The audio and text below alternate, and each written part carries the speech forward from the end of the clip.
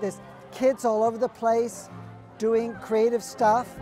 We have balloons, we got uh, board games. It's like a big show and tell. I bought this last week for $20 and I put on Linux and I'm showing it to people.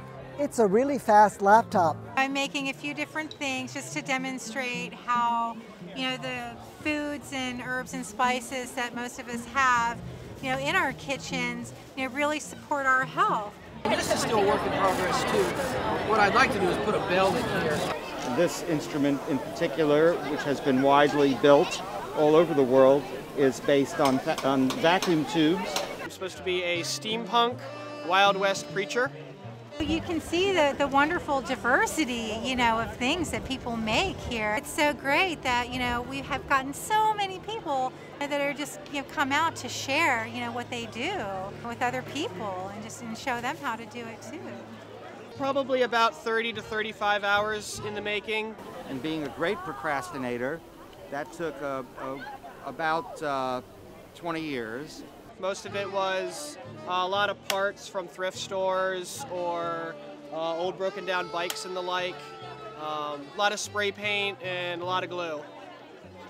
A maker's anybody who can craft something. If you craft something yourself, you're a maker. A maker is anybody who is like a tinkerer. We take materials and transform them into various things, and my forte happens to be uh, to make theremins. A maker is somebody who makes stuff.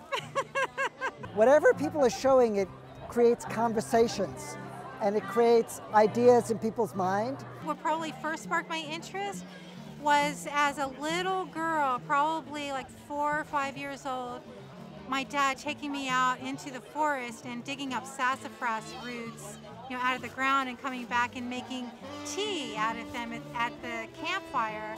And I was just so fascinated with that. It was just like, it was like magic to me. Makers love possibilities. What's exciting is that all the possibilities become enlarged when people are working together. You are coming together um, to share tools and uh, share workspaces and share ideas. The social aspect of creativity.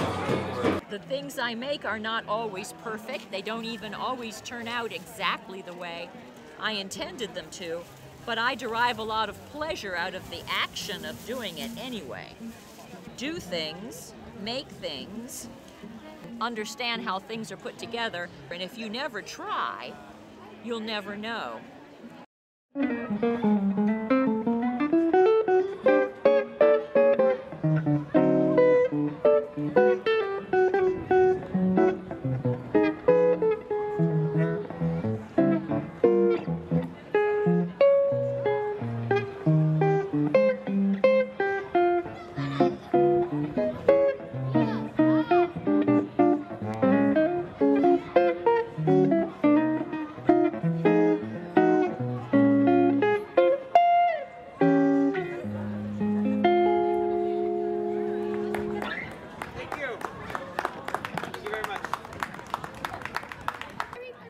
We're all makers.